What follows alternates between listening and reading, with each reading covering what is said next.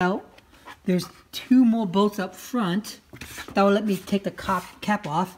There's a hose inside that I need to take apart. And then, of course, I also need to take out this, um, I forgot what this is called. I think this is called a uh, sh shroud. And then after that, I also need to take this out. I need to take this out so I can get, get access to uh, start uh, removing the uh, coolant before I can do the rest. Okay, so now I got all the hoses out, right? Got that out. Got that hose out. Um, unplug that. And for this, all I had to do was take a screwdriver and go right deep inside here. And both sides popped out, which means I can actually, if I do it right, I can pull the whole entire thing right out. All right? And then I'm just going to put a new one in its place and then plug everything back up. Okay, so here's the new radiator, and I've just took this out. This is just, just a plug that they have.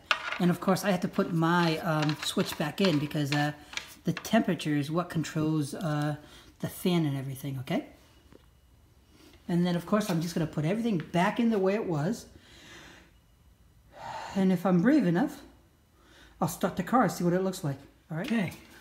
So I got that back in. I got this back in, right? I've got this back in. It's on tight.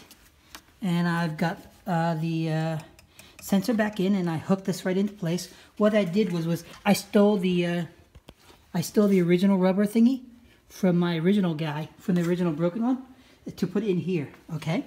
So, I believe I've got everything in place. Now I'm just to put back the shroud and then the air intake, and let's, uh, I need to go get uh, some uh, coolant. But after that, we should uh, turn it on, see what this looks like. All right?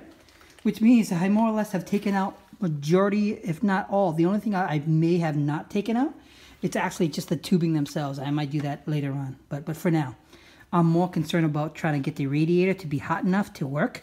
So at least things will flow right through. Okay, the alternative, well, we'll see. We'll see. I've got a few more options, but uh, I think uh, let's see what this looks like.